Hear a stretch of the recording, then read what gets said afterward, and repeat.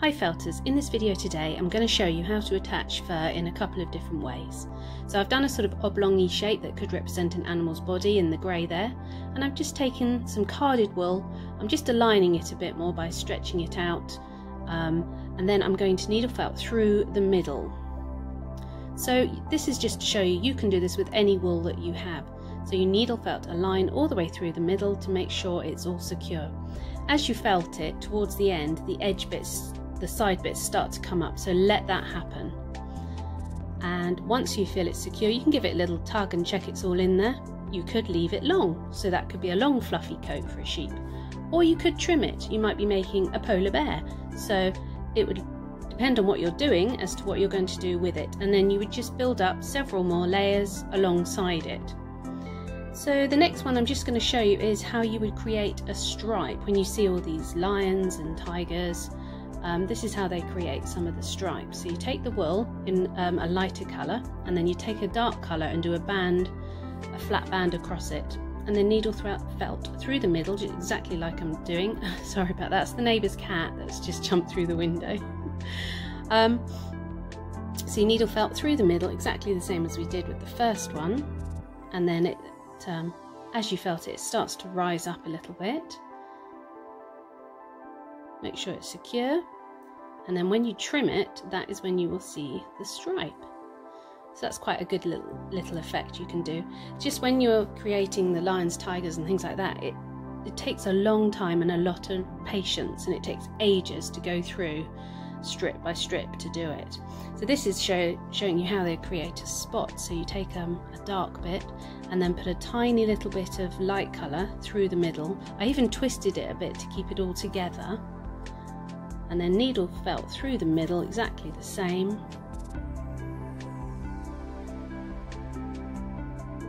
And then trim it and you'll see there's a little spot.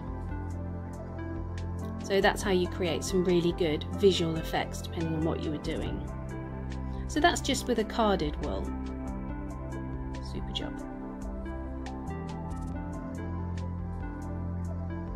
Next we're going to go on to um, a roving or tops type wool and this is the one I use for a lot of my Highland cows so it just gives you a different effect, a much longer effect or you can do a shorter effect which I'll show you in a minute.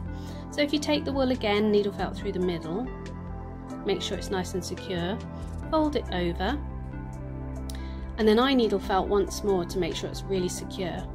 Um, I do a lot of um, attaching wools and furs on uh, my tutorials. I've got Highland cows and sheep, so if you wanted to see the whole thing in process, have a look at that. But this is a really quick video. And this shows you if you, you do another layer going up the body, and then you'd fold that over. And that's how you've got your long coated Highland cow. Or, you know, you might have a long coated dog. You could use it for all sorts of animals. And you can trim it as well, but I'll show you how we uh, trim it in a minute. Um, the next one is just to show you, this has got a mix of colours. It's a really lovely, beautiful um, wool that I got. And if you wanted to do sort of a very unique animal with very special colours, I'll just show you how the effects um, are. When it folds over, it's so pretty. And there it is. So it's got lovely lines in. This is such a soft wool. And if you ever need to comb any of this wool out, you remember you just use your needle and if you want the ends to be not so uh, straight then trim upwards and that will give you a jagged edge. And this is just sticking up a bit too much if it was on the side of an animal. Very gentle uh, needle felt and it will stay down and it won't look like you've needle felted.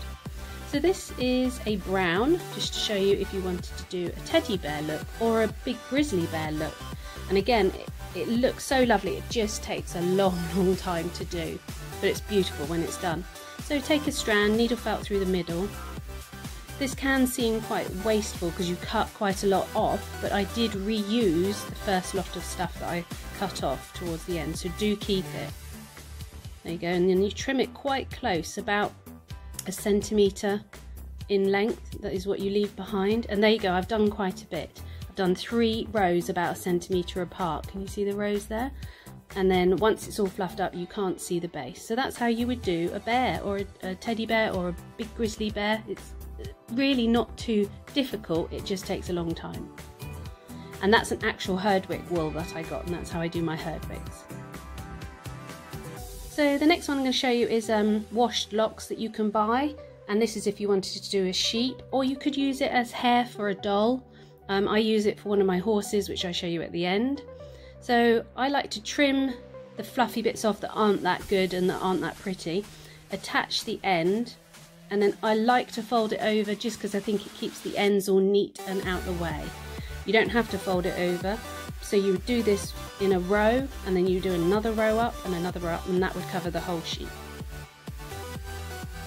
And then you can just needle felt the locks down a bit if they're sticking out. So there you go.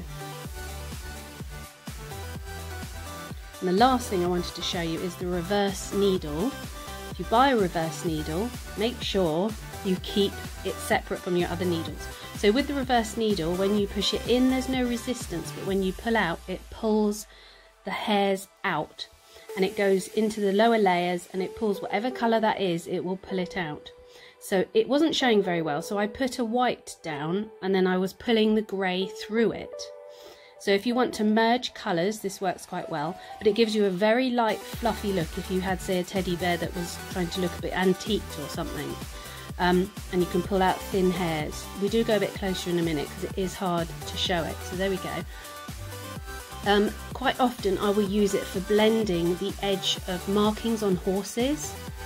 So here we go again, so I'm pulling all the hairs out. So bear in mind, it's, if you had a, a lower layer that was say a purple, it could bring some purple through. So make sure you got the right colours. And then if you didn't, if you're just merging and you just, you didn't want it to be fluffy, you pull it all out and then you just needle felt it flatter. So the reverse needle is really, really good. It's really useful. It's a good one just to have in your kit box. So there we go.